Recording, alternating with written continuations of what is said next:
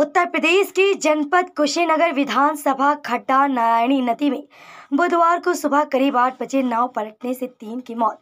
बताया जा रहा है कि एक नाव में दस किसान व उनके घर की बच्चियाँ बैठी थी, जिसमें सात लोग तैरकर अपनी जान बचाई और लापता तीन बच्ची समेत महिलाओं की मौत हो गई। गोताखोरों ने जाल डालकर तीनों के शव नदी से बाहर निकाले। इस हादसे में कुल दस लोग नदी में डूबे थे।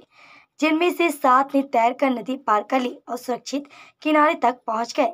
सीएम योगी ने घटना पर दुख जताते हुए अधिकारियों से दुर्घटना के पीड़ितों की पूरी मदद को कहा है। उन्होंने राहत और बचाव कार्य तेज़ी से चलाने और घायलों का उपचार कराने के निर्देश दिए।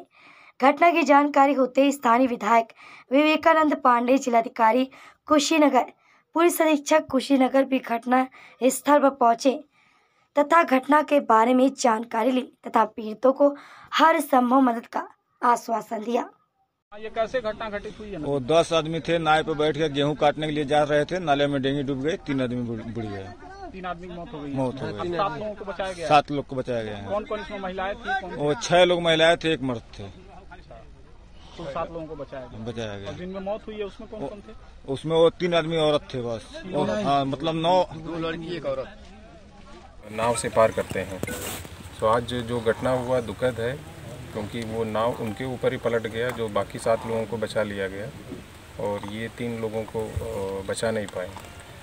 और आगे इसमें कार्रवाई की जा रही है। सर मृतक के परिजनों को क्या कुछ मदद जो है वो हाँ, ये दैवी आपदा में कवर होता है तो उसमें जो इनके लिए अनुमन्य है वो पूरा सहायता दी जाएगी। सर नारायणी नदी में अक्सर देखा जाता है, दियारा इलाका है, यहाँ पे किसान जो है खेती के लिए जाते हैं और कई बार ऐसी घटनाएँ घटित हुई हैं तो स्टीमर या कुछ ऐसी व्यवस्था हो जाए जिससे किसान जो है पहुँच सके अपने खेतों तक आसानी से, ऐसी घटना ना घटित हो नहीं, ये बार बार वहाँ तमकुरा साइड में भी ये प्रॉब्लम आ रही है क्योंकि नाव चलाने के लिए किसी को परमिशन तो नहीं दे रहे हैं। फिर भी खेती के लिए लोग इधर से उधर जाना, फिर अपने जान को जोखिम में रख के जाते हैं।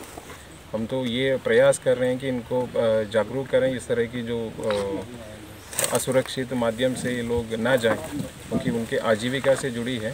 हम इस पर कुछ प्रस्ताव तैयार करा के भेजेंगे शासन को, ताकि इसका कुछ समाधान निकाल सकें।